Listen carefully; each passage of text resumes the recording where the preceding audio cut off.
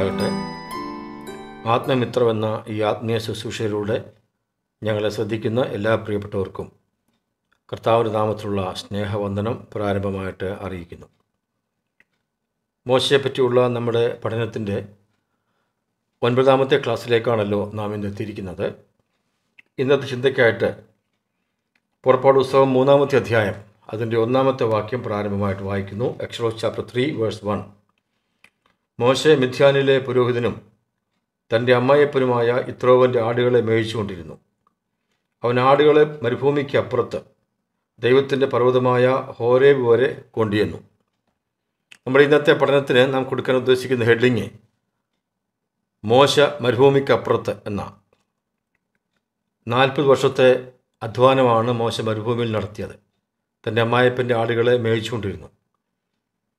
ഇവിടെ നമ്മൾ വായിച്ചത് മരുഭൂമിക്ക് അപ്പുറത്ത് താൻ എത്തി എന്ന. അവിടെ ചെന്നപ്പോഴാണ് ചില കാഴ്ചകൾ താൻ കാണുന്നതും തന്റെ അനുഗ്രഹിക്കപ്പെട്ട ശുശ്രൂഷയിലേക്ക് താൻ പ്രവേശിക്കുന്നതും.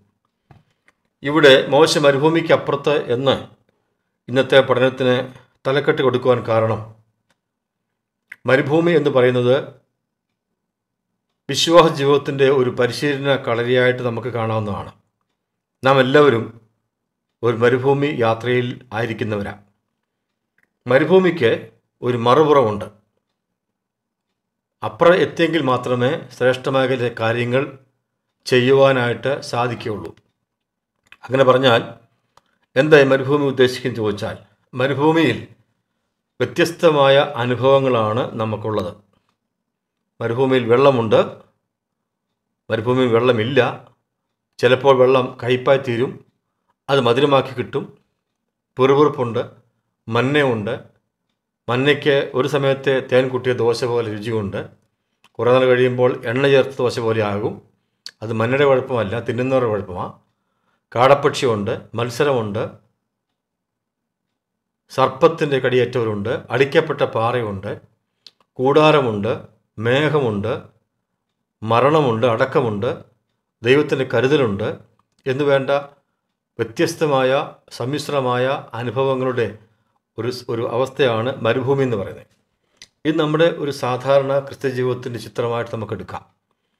ഈ മരുഭൂമിക്ക് അപ്പുറം എത്തണം. അതായത് ആത്മീയ പക്വതയിൽ നാം എത്തണം എന്നാ പറഞ്ഞതിന്റെ അർത്ഥം. മോശ മരുഭൂമിക്ക് അപ്പുറത്തെത്തി. അപ്പുറത്തെത്തി എന്ന് പറഞ്ഞാൽ അവൻ അനുഗ്രഹിക്കപ്പെട്ട നിലയിൽ തന്റെ അമ്മായപ്പന്റെ ആടുകളെ മേയിച്ച് സന്തോഷകരമായ ശുശ്രൂഷകൾ നിവർത്തിച്ചു എന്നല്ലേ അതിന്റെ ആശയം? ആന്നു. എന്നാൽ ഇസ്രായേൽ മക്കളുടെ മരുഭൂമി യാത്രയെക്കുറിച്ച് പിൽക്കാലത്ത് അപ്പോസ്തലൻ പൗലൂസ് പറയുമ്പോൾ കുരുതിരിക്ക് എഴുതിയ ഒന്നാമത്തെ ലേഖനം അതിന്റെ പത്താമത്തെ അധ്യായത്തിൽ ആ മരുഭൂമിയുടെ പ്രത്യേകത പറഞ്ഞിട്ട് പറയുന്നത് എങ്കിലും അവരിൽ മിക്ക പേരിലും ദൈവം പ്രസാദിച്ചില്ല അവരെ മരുഭൂമിയിൽ തള്ളിയിട്ട് കളഞ്ഞു. എന്ന് പറഞ്ഞാൽ പലരും മരുഭൂമിയിൽ തന്നെ പട്ടുപോയി. ഒരു സാധാരണ ക്രിസ്തുജീവിതം കൊണ്ട് അവസാനിപ്പിക്കുന്നവരാണ് പല വിശ്വാസികളും. ദൈവം ആഗ്രഹിക്കുന്ന അങ്ങനെയല്ല. ഉന്നത നിലവാരം പുലർത്തുന്ന മരുഭൂമിക്കപ്പുറം മരുഭൂമിക്ക് മറുപുറത്തെത്തുന്ന ഒരു ജീവിത നിലവാരത്തിലേക്ക് നാം വരണമെന്ന ദൈവം ആഗ്രഹിക്കുന്നത്. ഇനി അവിടെ ചെന്നാൽ എന്താ പ്രത്യേകതയുള്ളത്? നോക്കിക്കേ മൂന്നാമത്തെ അധ്യായത്തിന്റെ ഒന്നാം വാക്യം ഞാൻ വായിച്ചു കേൾപ്പിച്ചത്. രണ്ടാം വാക്യം വായിക്കാം. പുറപ്പാട് മൂന്നും രണ്ട്. അവിടെ യഹോവയുടെ ദൂതൻ ഉണ്ട്.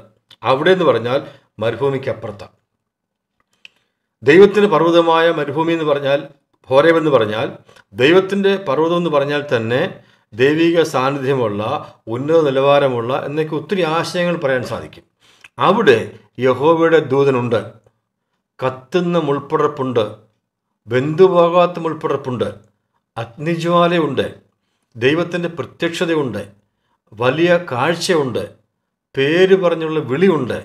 വിശുദ്ധിയുടെ മാനദണ്ഡം വെളിപ്പെടുത്തുന്ന സ്ഥലമാണത്. നിന്റെ കാലിൽ നിന്ന് ചെരുപ്പ് അഴിച്ചു കളയാനായിട്ട് പറഞ്ഞിരിക്കുന്നു. അത് മാത്രമല്ല അനുഗ്രഹിക്കപ്പെട്ട ഉത്തരവാദിത്വം ശുശ്രൂഷ മോശ ഏൽപ്പിക്കുന്നതും അവിടെ വെച്ചാ. അതിന് പത്താമത്തെ വാക്യത്തിൽ വായിക്കുന്നത് ഓസ്റ്റൻ ആകയാൽ വരിക നീ എന്റെ ജനമായ ഇസ്രായേൽ മക്കളെ മിസ്രൈമിൽ നിന്ന് പുറപ്പെടുവിക്കേണ്ടതിനെ ഞാൻ നിന്നെ ഫറവോന്റെ അടുക്കൽ അയക്കും. അപ്പോൾ മോശ മരുഭൂമിക്കപ്പുറം എത്തിയില്ലായിരുന്നെങ്കിൽ ഇത്രയും ശ്രേഷ്ഠമായ കാഴ്ച കാണുവാനോ അപ്പോൾ തന്നെ ദൈവത്തിന്റെ മഹത്വമുള്ള ആ വിളി കേട്ട് ഉത്തരവാദിത്തം ഏറ്റെടുക്കുവാനോ സാധിക്കുകയില്ലായിരുന്നു. പ്രിയമുള്ളവരെ വിശ്വസ്തമായിട്ട് ജീവിക്കുന്നവരെയാണ് കർത്താവ് തന്റെ വേലയ്ക്ക് വിളിക്കുന്നത്. ഉഴപ്പന്മാരെ അലസന്മാരെ മടിയന്മാരെ കർത്താവ് വിളിക്കത്തില്ല. ഞാൻ ഒന്നുകൊണ്ട് ഉദാഹരണം പറയാം. വിശദമായിട്ട് പറയാൻ ഒരു സമയമല്ല നമ്മൾ വളരെ ചുരുക്കമായിട്ടാണല്ലോ സമയം വിനിയോഗിക്കുന്നത്.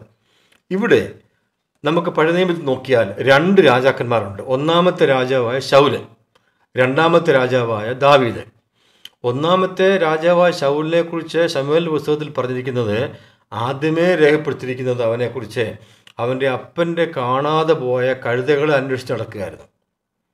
ലളിതമായ ഭാഷ പറഞ്ഞാൽ അവനെക്കുറിച്ച് ആദ്യം പറഞ്ഞേക്കുന്നത് കഴുതക്കാര്യമാണ് കഴുതക്കാര്യം. അത്രേ ഉള്ളൂ വേറൊന്നുമില്ല. ഈ മനുഷ്യനെയാണ് ഒന്നാമത്തെ രാജാവായിട്ട് അഭിഷേകം ചെയ്തത്. അത് ദൈവത്തിന്റെ ഇഷ്ടപ്രകാരമൊന്നും അല്ലായിരുന്നു ജനങ്ങൾ ആവശ്യപ്പെട്ടതനുസരിച്ച് കൊടുത്തതാണ് അവനൊരു ഒരു അലസനായിരുന്നു. വിശ്വസ്തനായിരുന്നില്ല. അതുകൊണ്ട് സംഭവിച്ചു അവന്റെ അന്ത്യം അവന്റെ സ്വന്തം വാളിൽ തന്നെയായി. എന്നാൽ രണ്ടാമത്തെ രാജാവ് അങ്ങനെയല്ല. രണ്ടാമത്തെ രാജാവ് ചെറുപ്പക്കാരനാണെങ്കിലും അവന്റെ അപ്പന്റെ ആടുകളെ മേയിക്കുന്ന സ്വഭാവം പ്രകൃതം അവനുണ്ടായിരുന്നു. അവൻ ആടുകളെ നന്നായിട്ട് പരിപാലിച്ചു. അത് സഹോദരന്മാർ സഹോദരന്മാരുടെ ക്ഷേമം രക്ഷിക്കാൻ പോയപ്പോൾ ഗോലിയാത്ത മലനായ ഗോലിയാത്ത ദേവജനത്തെ വെല്ലുവിളിക്കുന്ന കേട്ടപ്പോൾ ഞാൻ പോയി അവനെ പരാജയപ്പെടുത്താൻ ധൈര്യത്തോടെ പറഞ്ഞു. അതിന്റെ കാരണം എന്നറിയാമോ അപ്പന്റെ ആടുകളെ മേയ്ക്കുമ്പോൾ ഒരിക്കലൊരു സിംഹവും ഒരിക്കലൊരു കരടിയും വന്നു തനിക്കെതിരെ. രണ്ടിനെയും അവൻ കയ്യിൽ ആയുധമൊന്നുമില്ലാതെ കൊന്നുകളഞ്ഞു എന്ന് വായിക്കുന്നു. അപ്പോൾ ദാവിദിനെ സംബന്ധിച്ച് കേട്ടത് ഈ ഈ എന്താ കഴുതക്കഥയല്ല. പിന്നെന്തോ? അവനെക്കുറിച്ച് കേട്ടത് സിംഹത്തെയും കരടിയെയും കൊന്ന ചരിത്രമാണ്. അവൻ ശക്തനായിരുന്നു. മാത്രമല്ല അവൻ വിശ്വസ്തനായിരുന്നു. അവന്റെ ജീവൻ പോലും പണയം വെച്ചാണ് അവന്റെ അപ്പൻ അവനെ ഏൽപ്പിച്ച ആടുകളെ അവൻ ഭദ്രമായിട്ട് പരിപാലിച്ചത് എന്നർത്ഥം. അപ്പോൾ ദാവീദിനെ ദൈവം നേരത്തെ കണ്ടിരുന്നു. അതനുസരിച്ച് ദാവിദിനെ അഭിഷേകം ചെയ്ത് അനുഗ്രഹിക്കപ്പെട്ട ശുശ്രൂഷ അവൻ നിറവേറ്റി. അവന്റെ അന്ത്യം എങ്ങനെയായിരുന്നു നോക്കിക്കേ. അപ്പസർപ്പുറത്തിലെ പുസ്തകം പതിമൂന്നാമത്തെ അധ്യായം അതിന്റെ മുപ്പത്തി ആറാമത്തെ വാക്യത്തിൽ വായിക്കുന്നത് ദാവീദ് തന്റെ തലമുറയിൽ ദൈവത്തിന്റെ ആലോചനയ്ക്ക് ശുശ്രൂഷ ചെയ്ത ശേഷം നിദ്ര പ്രാപിച്ച് പിതാക്കന്മാരോട് ചേർന്നു. തന്റെ തലമുറയിൽ ദൈവത്തിന്റെ ആലോചനയ്ക്ക് ശുശ്രൂഷ ചെയ്തു. പ്രിയമുള്ളവരെ കർത്താവ് തന്റെ മഹത്വമുള്ള വേലയ്ക്ക് ശുശ്രൂഷയ്ക്ക് വിളിച്ചിട്ടുണ്ടെങ്കിൽ വിശ്വസ്തന്മാരെ വിളിച്ചിട്ടുള്ളൂ. അധ്വാനിക്കുന്നവരെ വിളിച്ചിട്ടുള്ളൂ. മത്തായ സുവിശേഷം നാലാം അധ്യായത്തിന്റെ പതിനെട്ട് ഇരുപത്തിയൊന്ന് വാക്യങ്ങൾ. മർക്കോ സുവിശേഷം ഒന്നിന്റെ പതിനാറാമത്തെ വാക്യം. ഈ വാക്യങ്ങളൊക്കെ വായിച്ചാൽ താൻ ശിഷ്യന്മാരെ വിളിച്ച കാര്യം അവിടെ പറഞ്ഞിട്ടുണ്ട്. താനിങ്ങനെ നടന്നു പോകുമ്പോൾ ചില ശിഷ്യന്മാരെ വല വീശുന്നു. ചിലരെ വല കഴുകുന്നു. ചിലരെ വല നന്നാക്കുന്നു. ചിലരെ അപ്പന്റെ കൂടെ പടകിലിരിക്കുന്നു അപ്പോൾ ഇതെല്ലാം അവരുടെ അധ്വാനശീലത്തെ കാണിക്കുന്നതാണ് വല വീശി കിട്ടിയ മീൻ വിറ്റ് കാശുണ്ടാക്കി ജീവിക്കുന്നത് മാത്രമല്ല ആ വല നന്നാക്കുന്നതും അവർ തന്നെയാണ് മറ്റൊരുത്തരെ ജോലി കേൾപ്പിക്കുകയല്ല. വല നന്നാക്കുക മെൻഡിങ് ദ നെറ്റ് എന്ന് പറയുന്നത് ചെറിയ കാര്യമൊന്നുമല്ല. ശ്രമകരമായ കാര്യമാ അധ്വാനമാണ് ബുദ്ധിമുട്ടുണ്ട്. അതും അവരാ ചെയ്യുന്നത്. വല കഴുകുന്നതും അവരാ എല്ലാം ചെയ്യുന്നവരാ. അവരെ വേലയ്ക്ക് വിളിച്ചു. വിദ്യാഭ്യാസത്തിന്റെ കുറവ് അവർക്ക് ഉണ്ടായിരുന്നുള്ളൂ. വിശ്വസ്തതയ്ക്കും കഠിനാധ്വാനത്തിനും കുറവില്ലായിരുന്നു. ദൈവം അവരെ അനുഗ്രഹിക്കപ്പെട്ട നിലയിൽ ഉപയോഗിച്ചു എന്നുള്ളത് പ്രവൃത്തികളുടെ പുസ്തകം വായിച്ചാൽ നമുക്ക് മനസ്സിലാകും. അതുപോലെ തന്നെയാണ് അപ്പസ്വലിനെ പൗലോസിനെ സംബന്ധിച്ചും താനും വിശ്വസ്തനായിരുന്നു.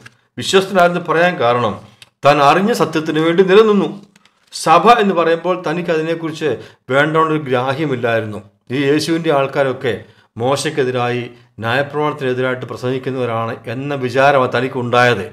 ആ വിചാരത്തിലാണ് താൻ സഭയെ ഉപദ്രവിച്ചത്. അതുകൊണ്ടല്ലേ താൻ പറയുന്നത് തിമത്യോസിന്റെ ഒന്നാമത്തെ ലേഖനത്തിന്റെ ഒന്നാമത്തെ അധ്യായത്തിന്റെ പതിമൂന്നാമത്തെ വാക്യത്തെ പറയുന്നത് മുമ്പേ ഞാൻ ദൂഷകനും ഉപദ്രവിയും നിഷ്ഠുരനുമായിരുന്നു. എങ്കിലും അവിശ്വാസത്താൽ അറിയാതെ ചെയ്തതായതുകൊണ്ട് ദൈവം അവനോട് കരുണ കാണിച്ചു ക്ഷമിച്ചു എന്നാണ്.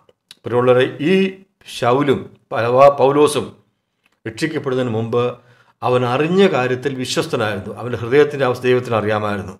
അതുകൊണ്ട് ദൈവം അവനെ വിളിച്ച് തന്റെ മഹത്വമുള്ള പേർക്ക് ആക്കിയത്. നോക്കിക്കേ ആ തിമത്യോസ് തന്നെ ഒന്നാമത്തെ ലേഖനം ഒന്നാമത്തെ അധ്യായം പന്ത്രണ്ടാമത്തെ വാക്യത്തിൽ പൗലോസ് എന്താ പറഞ്ഞു നോക്കിക്കേ തന്റെ ആ ആ ഹൃദയത്തിന്റെ ആ സത്യം വെളിപ്പെടുത്തുക. എനിക്ക് ശക്തി നൽകിയ ക്രിസ്തുവേശു എന്ന നമ്മുടെ കർത്താവ് എന്നെ വിശ്വസ്തനും എണ്ണി ശുശ്രൂഷയ്ക്കാക്കിയത് കൊണ്ട് ഞാൻ അവനെ സ്തുതിക്കുന്നു. എവിടെ വിശ്വസ്തത?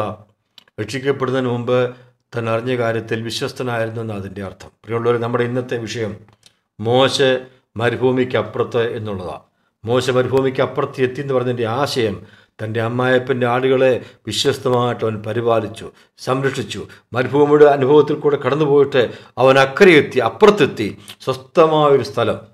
ദൈവത്തിന്റെ പർവതമായ ഹോരേബ്. അവിടെ നിന്ന് അവൻ അനേക കാര്യങ്ങൾ കണ്ടു അനേക കാര്യങ്ങൾ കേട്ടു. അനുഗ്രഹിക്കപ്പെട്ട ഉത്തരവാദിത്വം ഏറ്റെടുത്തുകൊണ്ട് മുൻപോട്ട് പോയി. കർത്താവിന് വേണ്ടി വളരെ പ്രയോജനപ്പെട്ടു. എന്നെ കേൾക്കുന്ന പ്രിയമുള്ളവരെ കർത്താവിനെ നമ്മെ പ്രയോജനപ്പെടുത്തണമെങ്കിൽ നാം വിശ്വസ്തരായി ജീവിച്ചെങ്കിൽ മാത്രമേ മതിയാകത്തുള്ളൂ. മാത്രമല്ല ഇന്നും ഈ മരുഭൂമിയുടെ അനുഭവത്തിൽ ഒരു തണുത്ത ക്രിസ്ത്യൻ ജീവിതം നയിച്ചുകൊണ്ട് ജീവിക്കുകയാണെങ്കിൽ നാം ഒന്നും ഒട്ടും പക്വതയിലെത്തിയില്ലെന്ന് അതിന്റെ അർത്ഥം. മരുഭൂമിക്ക് ഒരു മറുപുറമുണ്ട്. അവിടെ എത്തിയേ മതിയാകൂ. അവിടെ എത്തിയെങ്കിൽ മാത്രമേ ദൈവം നമ്മളെ ശ്രേഷ്ഠമായ കാര്യങ്ങൾ ഏൽപ്പിക്കുകയുള്ളൂ. കർത്താവിന്റെ വേല ചെയ്യുന്ന പ്രിയപ്പെട്ടോട് ഞാൻ പറയട്ടെ. വിശ്വസ്ത പുലർത്തിയെങ്കിൽ മാത്രമേ കർത്താവിനെ പ്രസാദിപ്പിച്ചുകൊണ്ട് ജീവിപ്പാനായിട്ട് സാധിക്കത്തുള്ളൂ. ഈ മരുഭൂമിയുടെ അനുഭവത്തിൽ നിന്നും അല്പം കൂടെ മെച്ചമായിട്ട് മുൻപോട്ട് പോയി. മരുഭൂമിയുടെ മറുപുറത്തെത്തി. കർത്താവിന്റെ മഹത്വം കണ്ട് വേലയ്ക്ക് വിശ്വസ്ത മുൻപോട്ട് പോകാൻ ഫലപ്രദമായി ജീവിപ്പാൻ. ഈ ചിന്തകളാൽ പഠനങ്ങളാൽ ദൈവം നമ്മെ ഏവരെ സഹായിക്കട്ടെ.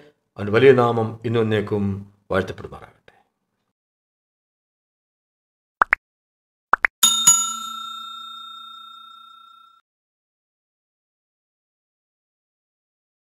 you